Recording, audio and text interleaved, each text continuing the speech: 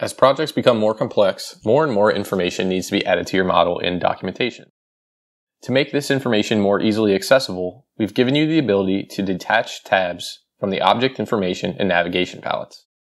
With the ability to detach tab palettes and save the palette locations, you can customize your workspace and easily access important information, greatly speeding up daily workflows.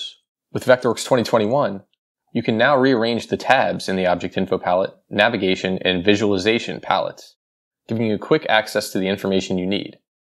To change the order of the tabs, just click and drag the tab to the desired location. The tabs can also be completely detached, letting you access multiple tabs simultaneously without the need to click back and forth. For example, you can detach the Data tab of the Object Info palette, allowing you to view the attached data while you change parameters or styles of plugin objects. Once the tabs have been detached, they can even dock to other tabs or palettes. Simply drag the tab to the palette of the same tab family, and it will be added to that palette. The tab families are designated as Object Info, Navigation, and Visualization. Only tabs from the same tab family can be attached to each other. Docking, however, is not limited by tab family.